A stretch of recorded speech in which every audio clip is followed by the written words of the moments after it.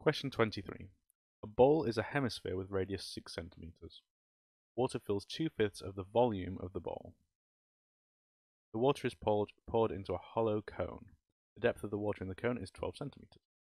Work out the radius of the surface of the water in the cone. So we need to figure out this length here, and we'll call that x. In order to work this out, we need to know the volume of water that was poured into this cone in the first place. So we need to calculate the volume of water in the hemisphere. We know that two-fifths of the volume is filled with that, so if we knew the volume, we could multiply by two-fifths to get the actual amount of water.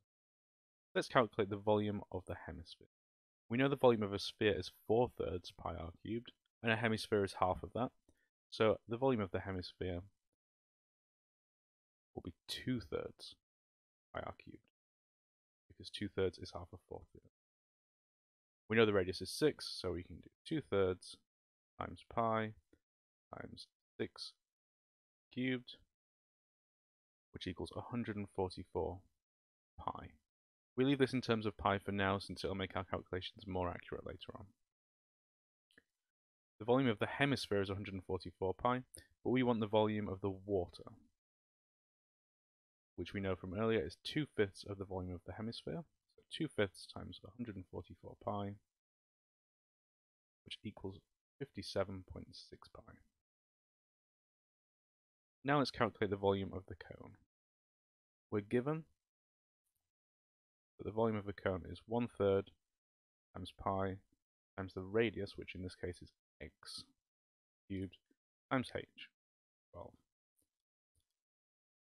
Sorry, that's x squared. So that should give us 4 pi x. Now we can equate these two. 4 pi x squared equals 57.6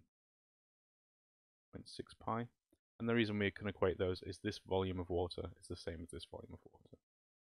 We can cancel the two pi's and divide by 4 to get x squared equals 57.6 over 4.